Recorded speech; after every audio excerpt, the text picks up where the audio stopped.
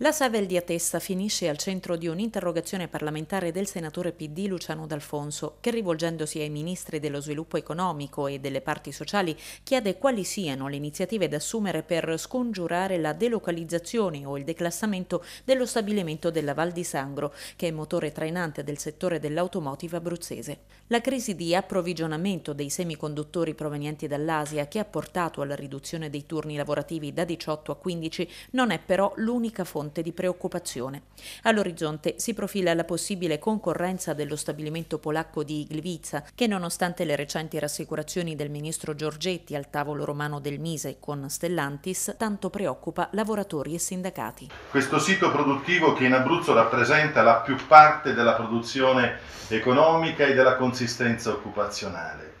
6.500 dipendenti diretti, 3.500 indiretti, 700 con contratto di somministrazione. Per ragioni riguardanti l'approvvigionamento dei semiconduttori provenienti dalla Malesia,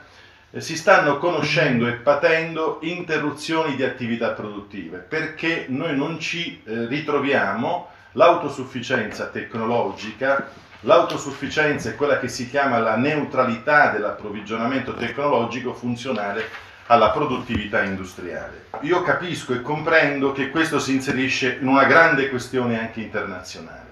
però nella mia regione questa è un'emergenza che va fronteggiata anche attraverso strumenti di programmazione economica concertata, per esempio un contratto istituzionale di sviluppo è stato istruito dagli enti locali con anche eh, un accompagnamento da parte della Regione e del Ministero della Coesione per fare in modo che misure di facilitazione fiscale, facilitazione di prestazione energetica, facilitazione di trasportistica e di logistica comunque motivino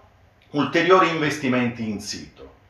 Perché c'è il rischio che si cominci a guardare alla Polonia per quanto riguarda la ridelocalizzazione messa al riparo dal punto di vista della sfida internazionale. Tra gli impegni richiesti al gruppo Stellantis vi è quello a non delocalizzare la produzione dei modelli di veicoli oggetto di industrializzazione nell'ambito del piano. Così si legge nella risposta fornita dal Ministero dello Sviluppo Economico all'interrogazione del senatore Luciano D'Alfonso, impegni che restano in vigore anche a seguito della fusione tra FCA e il gruppo automobilistico francese Peugeot.